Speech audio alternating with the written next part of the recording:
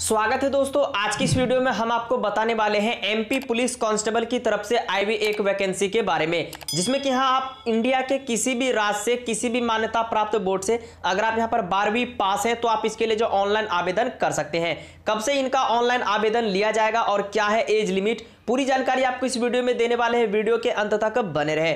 सबसे पहले आपको इनकी ऑफिशियल वेबसाइट पर आना होगा peb.mp.gov.in इस वेबसाइट का जो लिंक हमने नीचे वीडियो के डिस्क्रिप्शन में दे दिया है, आप वहाँ से क्लिक करके इनकी ऑफिशियल वेबसाइट पर आ सकते हैं। इस तरीके आने के बाद यहाँ पर आपके सामने कुछ इस प्रकार खुल करके आ जाएगा और यहाँ पर देखिए लेटेस्ट अपडेट यहाँ पर आपको देखने को मिलता है। जो भी यहाँ पर एमपी से रिलेटेड वैकेंसी आती है, वो यहाँ पर आपको देखने को मिल जाता है। और यहीं पर देखेंगे तो यहाँ पर देखिए तीसरे नंबर पर दिया हुआ इन्फॉर्मेशन कांस्टेबल यहाँ पर देख पा रहे requirement test 2020 for police headquarter home police देख पा यहाँ पर दिया हुआ है। तो आपको इस तीसरे नंबर वाले ऑप्शन पर आपको यहाँ पर क्लिक कर देना है। यहाँ पर आप जैसे क्लिक करेंगे तो इनका जो ऑफिशियल नोटिस इस तरीके से डाउनलोड हो जाएगा और डाउनलोड होने के बाद कुछ इस प्रकार खुल करके आ जाएगा। यहाँ पर देखिए बताया गया कि पुलिस मुख्यालय, गृह पुलिस, मध्य प्रदेश शासन के अंतर्गत आरक्षित सर्वक की भर्ती हेतु भर्ती परीक्षा 2020 तो देख पा रहे इस तरीके से रिक्वायरमेंट को निकाला गया है। अब आप लोगों के मन में सवाल आ गया कि ये तो मध्य प्रदेश के लिए निकाला गया ये वैकेंसी लेकिन ऐसा नहीं है। अगर आप इंडिया के किसी भी राज्य से मान्यता प्राप्त बोर्ड से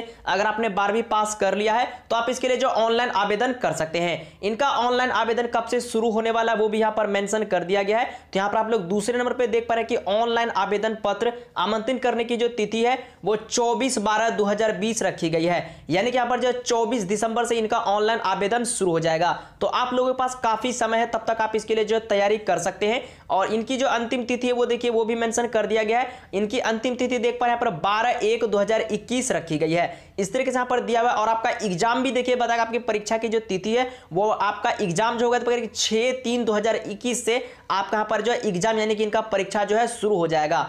पद की बात करो तो यहाँ पर काफ़ी पदों पर देख पा रहे हैं कि यहाँ पर आपको देख पा रहे हैं कि चार हज़ार पदों पर जो है वैकेंसी को निकाला गया है तो यहाँ पर आपको काफ़ी अच्छी बात है। और इनका जो ऑनलाइन आवेदन होगा वो होगा इन्हीं की वेबसाइट पर www.pebmp.gov.in पर। इस तरीके से आप इन नोटिफिकेशन को डाउनलोड करके पढ़ सकते हैं और यहाँ पर किन किन पदों के लिए कितना कितना वैकेंसी निकाला गया सभी कास्ट के लिए वो भी आप यहाँ पर देख सकते हैं। टोटल पद यहाँ पर जो है, चार हज़ार रखा गया, ये आपको आगे बढ़ाया भी जा सकता है। इस तरीके से आप रिक्वायरमेंट को डाउनलोड करके अच्छी तरीके से पढ़ सकते हैं। एज की बात करें तो यहाँ पर देखिए एज की जो गणना की जाएगी, वो आपको एक अगस्त दो हज़ार यहाँ पर जो काउंट किया जाएगा। यहाँ पर अलग अलग यहाँ पर देखिए दिया हुआ है कि इनकी पुरुषों के लिए आवेदन करने के लिए न्यूनतम जो आय है वो 18 वर्ष और अधिकतम जो है 33 वर्ष यहाँ पर रखा गया है।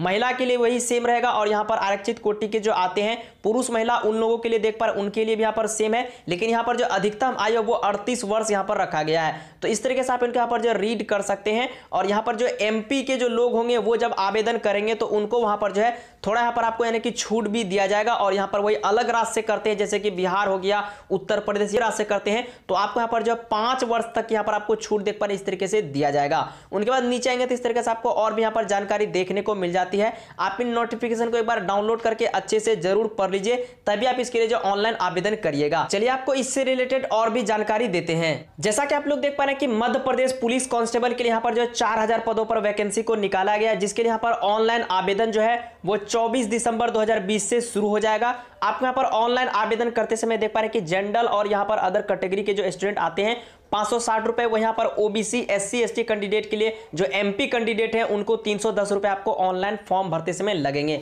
एज लिमिट की हमने बात कर दी, यहाँ पर देख पा रहे हैं कि अठारह वर्ष यहाँ पर मिनिमम है और मैक्सिमम यहाँ पर जो अड़तीस ईयर को रखा गया है। यहाँ पर एलिजिबिलिटी क्राइटेरिया की बात करें तो यहाँ पर आप लोग साफ़ साफ़ देख पा रहे हैं। देख पा रहे हैं कि candidate passed class twelfth form यहाँ पर रिक्वायर्ड बोर्ड इन इंडिया यानी कि अगर आप इंडिया से किसी भी राज्य से, चाहे बिहार से हो, उत्तर प्रदेश से हो, कहीं से भी अगर आपने बारहवीं पास कर लिया है तो आप इसके लिए जो इलिजिबल होंगे, इसके लिए आप यहाँ पर ऑनलाइन आवेदन दे सकते हैं। देख पा रहे यहाँ पर जो टोटल वैकेंसी की यहाँ पर बात करें, मैं आपको यहाँ पर दिखा पा रहा हूँ। चार हज़ार पोस्ट यहाँ पर देख पा रहे देखने को मिलता है। इस तरीके से यहाँ पर जो रिक्वायरमेंट को निकाला गया है। अभी इनका जो ऑनलाइन आवेदन शुरू नहीं हो रहा, अभी सिर्फ़ नोटिफिकेशन को ही निकाला गया है। देख पा रहे कि लिंक एक्टिवेट जो है चौबीस दिसंबर को शुरू हो जाएगा।